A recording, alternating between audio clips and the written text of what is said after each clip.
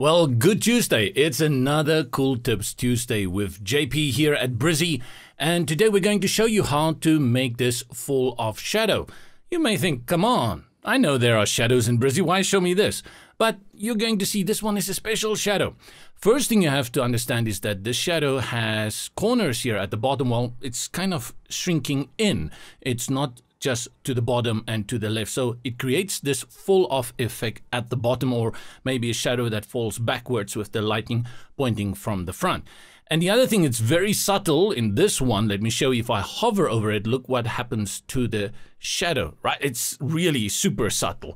And that is that it disperses a little bit more, creating a nice hover effect to these three columns that we have here the real deal, the raw deal, and the new deal. Well, let's look at the real deal for this, and we go into our builder. So you see, I've got these two ready, and then I'm going to apply it to this one, both in the normal state and then in the hover state. To access the shadow, well, the shadow is in many elements available, but we apply the shadow to the column in this example. So we go over here until we see the blue bounding box of the column, click on the settings, and shadows are available under colors. And then you see over here, shadow, click on that. And down here, these are the settings for your shadows.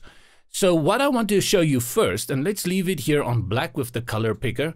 You will see every time I hover over one of these, there's a little icon here on the left that shows you what each one is about. So if I go here to the second one from the left, you see four arrows pointing northeast, south, and west. And that's going to basically act like a border.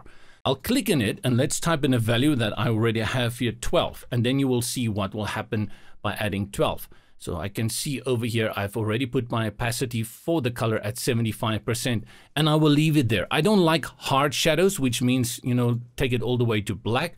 I'll rather reduce it a little bit, give it a little bit of a tint of a gray.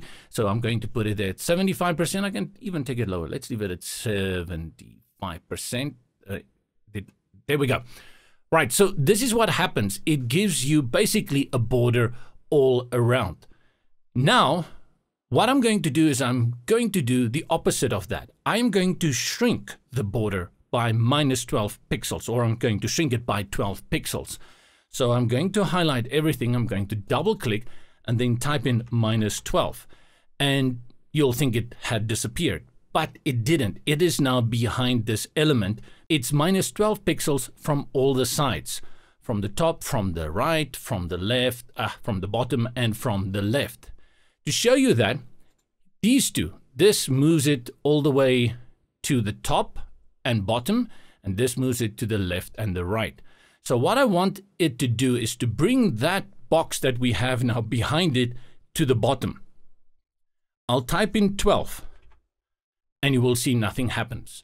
And the reason nothing happens is because I've reduced the entire shadow box by 12 pixels and I've added 12 pixels at the bottom so you cannot see it. It's exactly there at the bottom now. I'm going to make this a little bit bigger here in Chrome so that you can see what I'm, whoa, whoa, whoa, what I'm going to do next, bring it in here. Okay, good. Tiny bit smaller. I'm accessing it again. Let's go to our settings and our border, shadow. And now I'm going to use the arrow keys on my keyboard.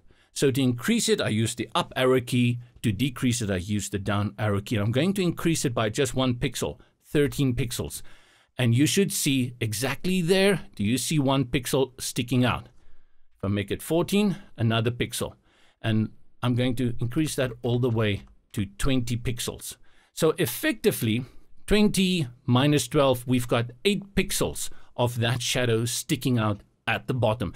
And that's how I get it to move out at the bottom with that white corners on both the left and the right. To create the shadow, you have to disperse it. And this is the first one here on the left. And I've also have a value here of 12, which I'm going to type in. And there we have that effect. See, great. Next, what I'll do is I'll go to the hover settings and I'm going to do the same. I'm just going to type in the 12 minus 12 and 20. Oh, and this is 12, right? 12 minus 12 and 20 course, it's exactly the same effect, so nothing's going to change. And all we do in the hover state is we increase this disperse effect. So I'm going to put that at 25, which makes it even more blurry. Then If I go back to the original and I hover over it, you can see that's how we get that nice fall off shadow at the bottom.